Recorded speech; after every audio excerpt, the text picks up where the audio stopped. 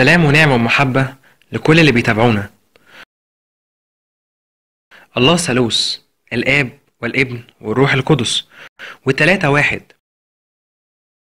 هو أعلن كده عن ذاته في العهد القديم والعهد الجديد.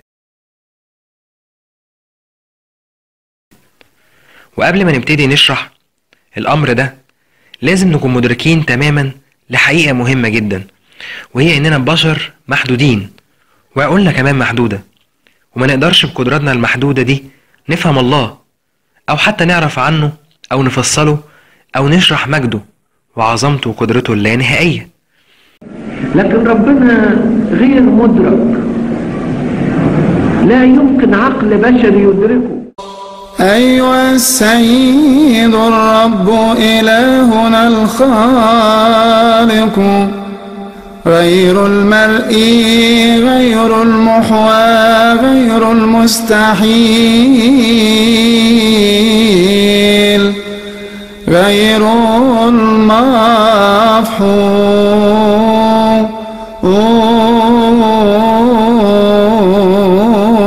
المفحوص إحنا يمكن هنقضي الأبدية كلها علشان نعرف الله شوية بشوية. زي الآية ما بتقول وهذه هي الحياة الأبدية أن يعرفوك أنت الإله الحقيقي وحدك. كل اللي عندنا هو اللي أعلنه الله لينا عن ذاته على قد ما تحتمل بشريتنا لأن في أمور أعلى بكتير من قدرتنا على المعرفة والفهم. علشان كده أي تشبيه هنشوفه مع بعض هو بس لتقريب المعنى لذهننا. لأن الله مفيش تشبيه يقدر يوضحه. السيد المسيح علشان نعرفه لازم نشوفه من كل وجه. لأن لو نظرنا ليه من زاوية واحدة أو من جهة صفة واحدة وتركنا باقي الصفات مش هنوصل لنتيجة حقيقية. من ناحية الألوهية السيد المسيح هو الله لأنه خالق. ليه السلطان على الطبيعة؟ يقدر يشفي أي مرض. الشياطين كمان بيرتجفوا منه. ليه سلطان الحياة والموت؟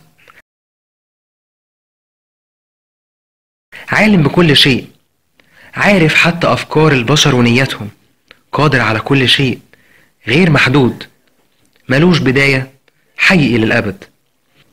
السيد المسيح من جهة اللاهوت هو الله. من جهة التجسد هو ابن الإنسان. من جهة الفداء هو الفادي. من جهة الأقنومية هو ابن الله.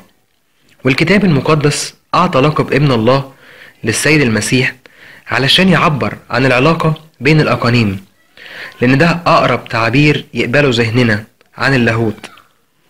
الابن من الآب معناها إنه من نفس طبيعته ونفس جوهره. وأبائنا شبهوا لينا موضوع البنوة ده لما قالوا إنها زي ولادة الكلمة من العقل. أو زي ولادة الضوء من الشمس. أو ولادة النور من النور. وده اللي بنقوله في قانون الإيمان. نور من نور إله حق من إله حق. مثال أوضح شوية برضو علموه لينا أبائنا هو مثال النار. شعلة النار مولود منها ضوء. ومنبثق عنها حرارة. والتلاتة هما شيء واحد النار. وما نقدرش نف- نفصلهم عن بعض. مفيش نار مش مولود منها ضوء وإلا ما تبقاش نار. وما ينفعش نار مش خارجة منها حرارة وإلا برضه ما تبقاش نار. لازم التلاتة مع بعض علشان تكون النار موجودة. انت نفسك تلات صفات أو خاصيات ذاتية. بمعنى إن من غيرها مش هيكون ليك وجود.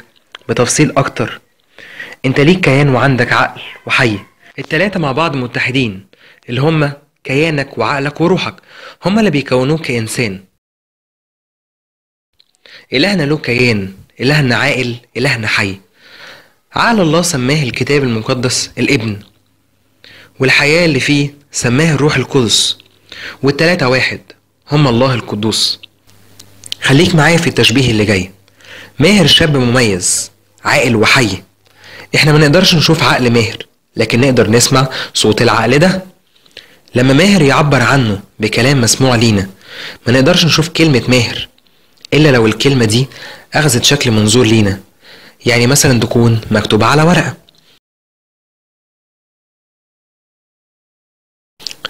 الله برضو ما نقدرش نشوفه لكن نقدر نسمع صوته. لما يعبر عن ذاته بكلمة.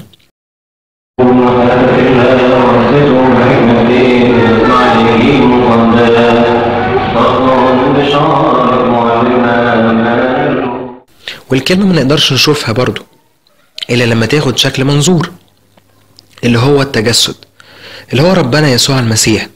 فبقينا نقدر نشوف كلمة الله ونسمعه. والله فكره الله وعقله الله وكلمته واحد من غير انفصال. الأقنوم التاني اللي هو الابن. أظهر لينا صفات الله الغير منظور. نراجع كده مع بعض الآب والابن والروح القدس واحد زي شعلة النار ما بتولد ضوء وتخرج حرارة. التلاتة مع بعض شيء واحد ما نقدرش نفصلهم عن بعض. الآب والابن والروح القدس التلاتة هم الله القدوس التلاتة متحدين غير منفصلين. والكتاب المقدس عبر عن العلاقة بينهم بألفاظ الآب والابن والروح القدس لأن دي الألفاظ المناسبة والقريبة للغتنا وفهمنا البشري. التلاتة متحدين لكن لكل إقنوم صفاته الخاصة بيه. الخلاصة من ده كله إن الله واحد مثلث الأقانيم. أقنوم من الثالوث من غير انفصال عن باقي الأقانيم. أخذ جسد وفدى العالم كله.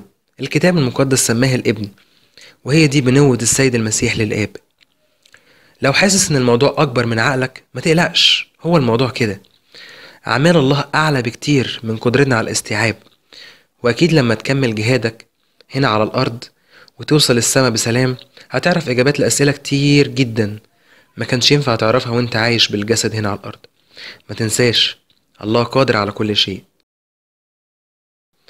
المصادر تجسد الكلمة القديس أثناسيوس الرسولي موجز الاعتقاد في وحدانية الله الأنبا إغريغوريوس أسقف البحث العلمي الأنبا رفائيل والأنبا بشوي من خلال عظاتهم على سي تي في وأغابي